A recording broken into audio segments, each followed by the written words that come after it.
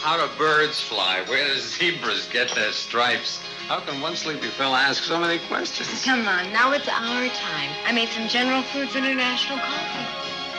Mmm, A touch of orange. It's orange cappuccino. I'm having Swiss mocha. I love that chocolate taste.